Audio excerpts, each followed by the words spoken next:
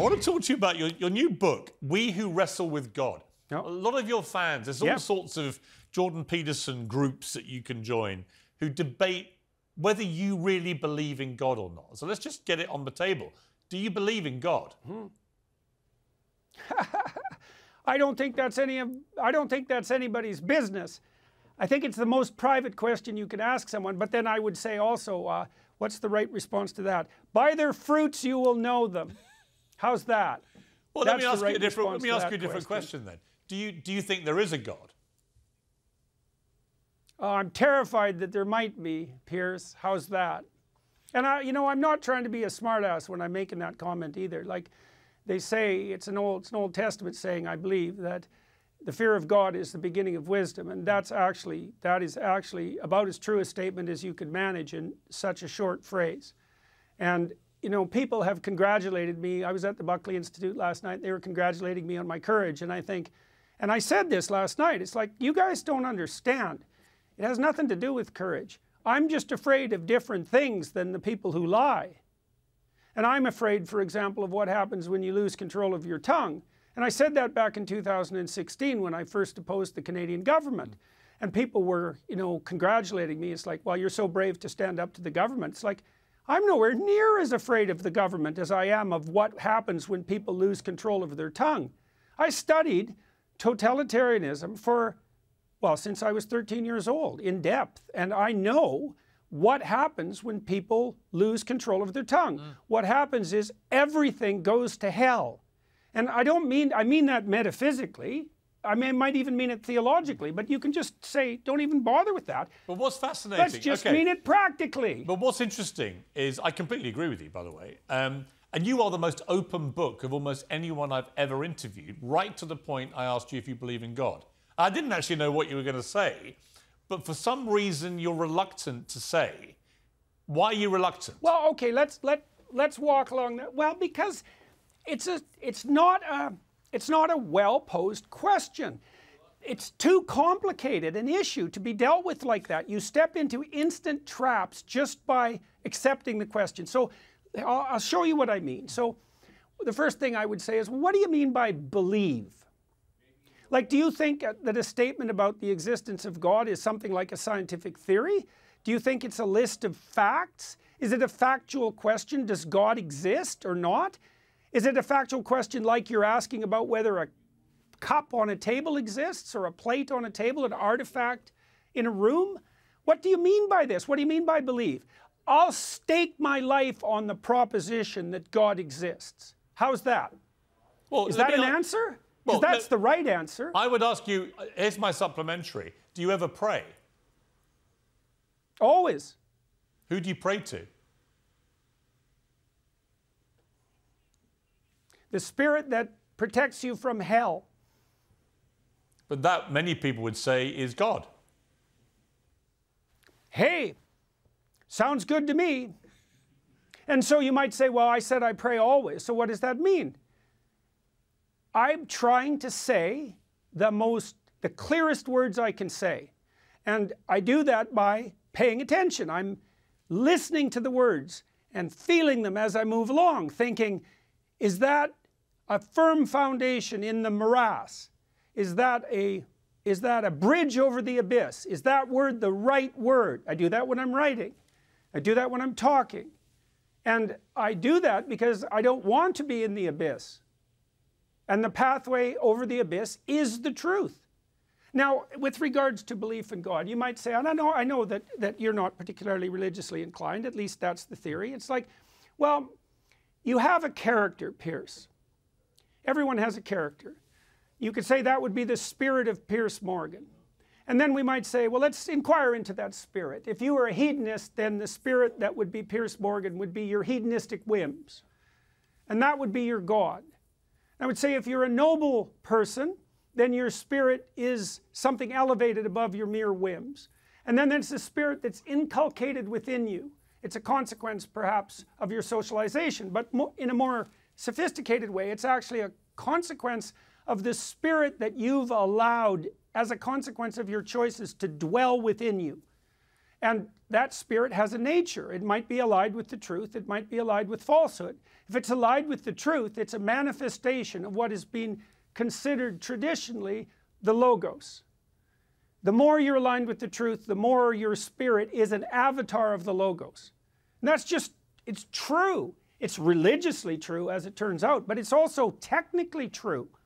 It's technically true. See, I had a debate. And so I'm going. I'm making that case in the new book. Right. So I had a debate with Richard Dawkins about this, uh, who was a bit disingenuous with me because he sat with me for a whole show, seemed to enjoy it, thanked me very much for it, and then called me a fool afterwards in some podcast. So I, I know you've had a few run-ins with him, and it, and I, it doesn't surprise me. But uh, what I said to Dawkins was because I was raised a Catholic, I was given spiritual guidance for several years by Catholic nuns, uh, and I do believe in God. And the reason I said to him is that no human brain can really explain to me or anybody what was there before before nothing. So if you believe in a Big Bang theory, well, what, what was there before that? Because I don't think any human brain has that power to un, to explain or answer that question. To me, it makes perfect sense. There should be some being, entity, something which is superior to a human brain. And I'm, I would think that someone with your brain would think that too, because there are questions we simply well, can't answer. Okay. Okay, three things about that. So the first is that's the argument by design, that things are so complex and sophisticated that that cries out for the hypothesis of something like a creator. I'm not a big fan of the argument by design. I can see its advantages, but it isn't the primary argument as far as I'm concerned. So the, the Big Bang proponents have a problem because it's a tenet of the Big Bang Theory that the laws of physics themselves break down at the point of the singularity, and mm. that would be the point just before the Big Bang. And when you say the laws of physics, the existence of space and time even is un unknowable prior to the Big Bang, you're basically positing a miracle at the beginning of existence. And so if you get to have your miracle, there's no reason the religious types can't have theirs. You might argue about what the miracle needs to be, and I think that's an argument that has to be had. I don't like the argument by design. I like the argument by conscience better.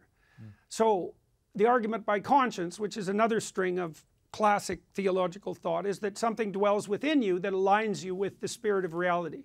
And it's the still small voice within that was identified first by the prophet Elijah.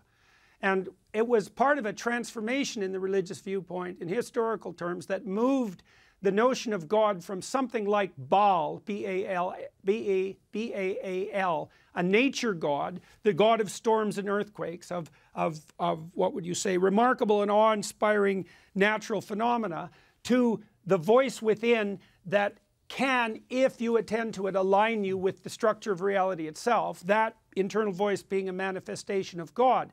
And I think that's an extremely powerful argument. And I think it's right.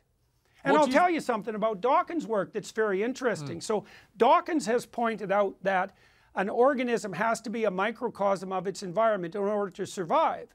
And I would say the, the voice of conscience within us is the most unerring manifestation of the microcosm within.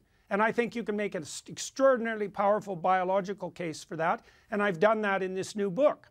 So I think Dawkins' argument, I think Dawkins' argument invalidates his his epistemology. Yeah, I agree. I really believe that. But what do you think? I mean, you, you've had moments in your life in recent years where I would imagine you have faced the prospect of potentially dying. And in those moments, yeah. in those moments, what have you felt and what do you think happens to you? If you do die, or you had died, what, what did you imagine might happen to you? Well, at the, I had lots of moments, moments, years in the last few years where dying would have been an absolute relief. And had that been accompanied by the complete cessation of my being, I would have been perfectly content with that. There are things that are far worse than dying. So if you're only terrified of dying, you've hardly begun to plumb the depths of existential catastrophe. death, death is fairly... You just don't have an imagination. What could be worse than dying? Being a prison guard at Auschwitz? But you'd still be alive, even if you were witnessing horror. Is not death the, the oh, ultimate... no, I'm thinking perpetrating it. Right. You mean how about a, how about being an Auschwitz guard? At a, how about being an Auschwitz guard who really enjoyed his job? Hmm. How about that? That's worse than death, as far as I'm concerned. Right. I mean that. No, no, I, I see that. That's hell, man. Yeah, it's a living hell. That's hell. Yeah, I agree. Mm-hmm. But do you think there So- is? But do you so- think there's an actual hell, Jordan? Is there is there somewhere that people like that go to, which is hell? Oh, definitely. Now, what what relationship that has to what happens to you when you die, I have no idea. I mean, I don't think anybody's in a position to speak about what's truly beyond our ken, let's say. I don't think we understand consciousness at all. We don't understand time. We don't understand the relationship between finitude and in, and and and the infinite landscape that surrounds us. That's all a great mystery, and I tend to leave that alone because I try not to speak about things that I can't speak about. But does hell exist? It's like study history and see if you can figure it out for yourself. I mean, Does, does heaven there's exist? nothing. There's nothing that's more obvious than that hell exists. So I mean, does heaven exist? Mao's China was hell. Right, but does so you're talking about hell on earth, but do you believe there's a hell after death? Uh, like I said, I, I, I can't, I can't, I don't speculate about such things. I don't. That's where my ignorance finds its. What would you say? That's where my knowledge finds its limit. I'm, I'm concerned enough about what I'm doing right now, right here, and, and leaving the rest of that. And, you know, I'm, so I have to leave it at that. The hell that I see as a potential on earth is sufficient as a deterrent and it's of, of sufficient reality. You know, you can ask, well, is it eternal? Well, I would say, well, look, all totalitarian states are variants on a theme, let's say, and that theme persists. All archetypal stories are eternal. Everything that happened in the Bible happened and is happening and will continue to happen forever. Hmm. It's part of the eternal human story. It's hyper real. And, and heaven and hell are part of that. What that means in the final analysis, I don't know. I mean, you asked, I think you asked in there, you know, there, hell is real, is heaven real? It's like, well, heaven is as far away from hell as you can get. That's a good way of thinking about Right. it. Um, I've spent my whole life trying to determine how you get as far away from being a camp guard at Auschwitz who enjoys his job as possible. And one of the things one of the things I've realized in recent years, for example, is that you are far from that if you're engaging in your interactions with the world in the spirit of voluntary play.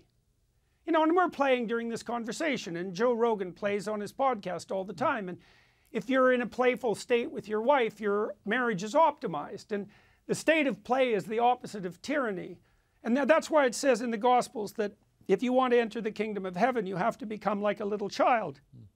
So you want to reinstate that, that open eyed, wide eyed acceptance of life that is the precursor to voluntary play. You want to develop your character to the point where that's part and parcel of your life on an ongoing basis. And that's allowing that spirit of the logos to inhabit you. That's another way of thinking about it. And you can, you can certainly aid that with prayer.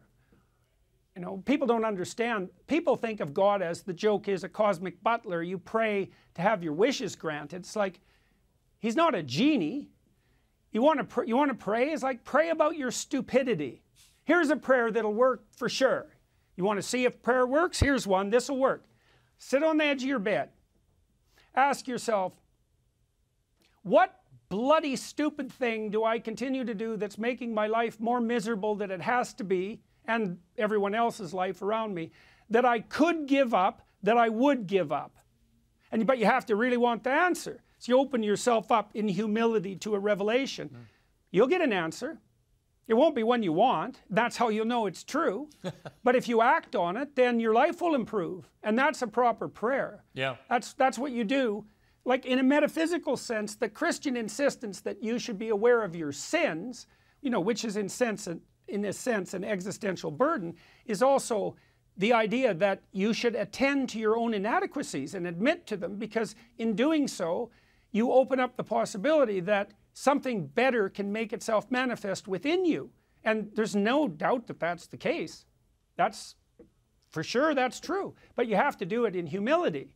And you have to be looking. That's why you're supposed to take the mote out of your own eye instead of worrying about the beam in your neighbor's eye. It's like there's something about you that's stupid you could fix. Yeah. And God will tell you what it is if you want Him to, so to speak.